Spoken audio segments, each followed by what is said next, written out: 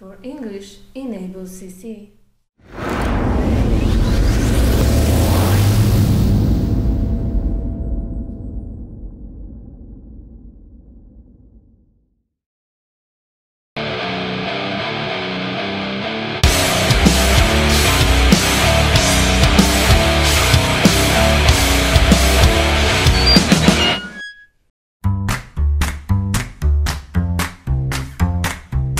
Potrzebujecie wkrętak z bitem CRV3 lub imbus tego samego rozmiaru oraz bit lub imbus CRV2,5. Krzyżak PH1 Łyżki do opon Kompresor z wtyczką do normalnego gniazdka Penseta Opony Szczęśliwi posiadacze wkrętarki mogą oczywiście je wykorzystać. Kładziemy urządzenie tak, aby gniazdo ładowania było u góry. Podważamy listwę LED płaskim zakończeniem PST, zaczynając od dołu. Wypinamy po kolei wszystkie zaczepy i odpinamy listwę LED. Odkręcamy wszystkie 9 śrub dookoła obudowy. Nie trzeba ich wyciągać.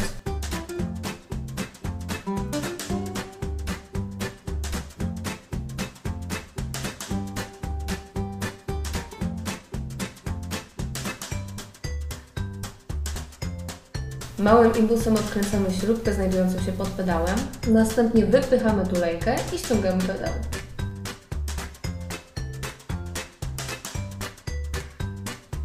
Pensetą ściągamy cztery gumowe zaślepki. Ważne jest, aby odkładać je klejem do góry i nie zabrudzić ich powierzchni, aby nadawało się do ponownego naklejenia. Następnie odkręcamy cztery śruby.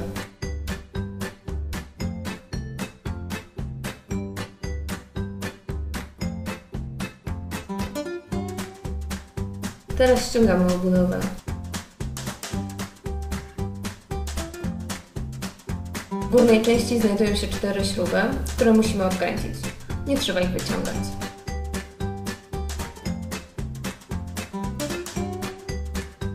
Teraz spuszczamy maksymalnie powietrze z wentyla. Dla pewności przyciskamy dodatkowe opony. Wentyl musimy wepchnąć w otwór, aby łatwiej było go później wyciągnąć. Następnie obracamy urządzenie na drugą stronę. Ściągamy pedał w ten sam sposób jak poprzednio.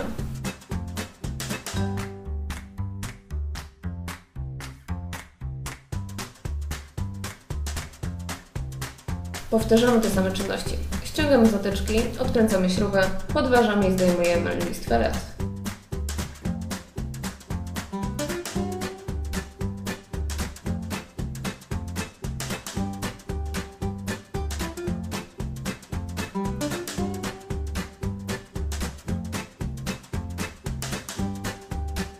Teraz uwaga!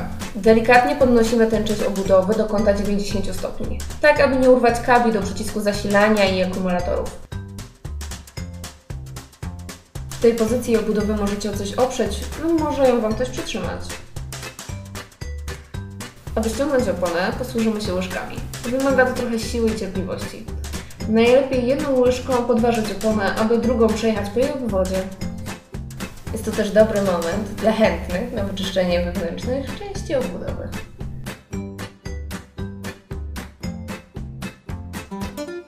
Wyciągamy dętkę, zaczynając od wentyla. Wyginając oponę, ściągamy ją.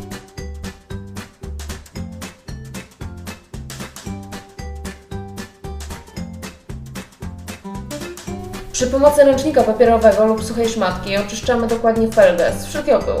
Tak samo przecieramy nową ampunę w środku. Jest to ważne, ponieważ ostrzejsze drobinki, np. piasku, z czasem mogą spowodować przetarcie dętki. Zakładamy oponę zgodnie z kierunkiem jazdy zaznaczonym na niej. Przy pomocy łyżek zakładamy oponę do połowy, zostawiając miejsce na dętkę.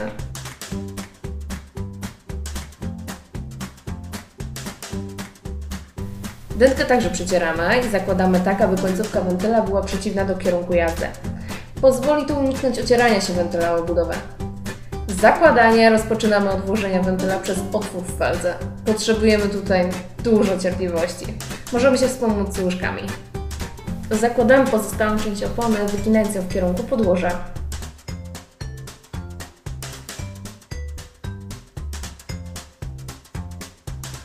Najtrudniejszy etap za nami.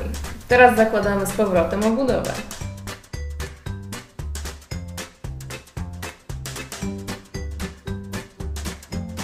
Przekręcamy obudowę czterasiubami. Naklejemy cztery zaślepki i zakładamy pedał wsuwając tulejkę, po czym przekręcamy śrubę małym imbusem.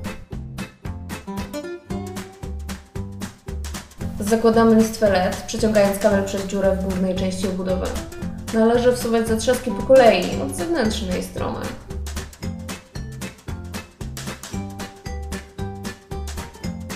Obracamy urządzenie na drugą stronę. W tym momencie najlepiej widać, jak zadbamy tutaj o wodoodporność, zaklejając płytę główną, wszelkie łączenia kabli i szczeliny. Podłączamy kompresor i pompujemy koło zgodnie z ciśnieniem zalecanym na oponie. W przypadku oryginalnej opony optymalną wartością będzie około 3,5 bara. Zakręcamy nakrętkę wentyla. Wkręcamy z powrotem cztery śruby w górne otwory.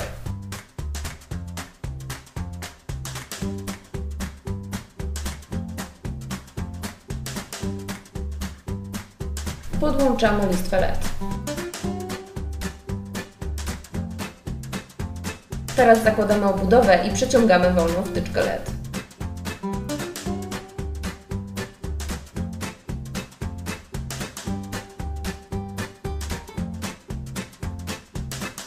Dociskamy obudowę ze wszystkich stron.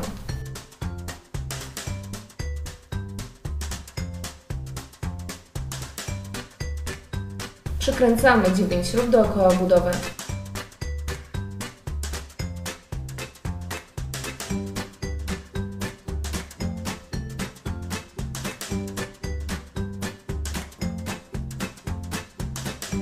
Następnie podłączamy drugą listwę LED i wpinamy zatrzaski tak jak poprzednio, zaczynając od zewnętrznych.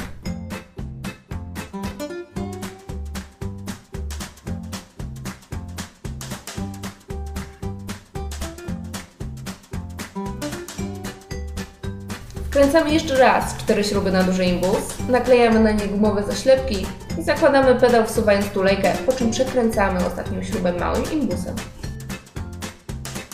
Włączamy kółko, aby sprawdzić, czy na pewno wszystko działa i czy LEDy się świecą. Gotowe! Gratulacje! Dzięki za oglądanie. Cześć!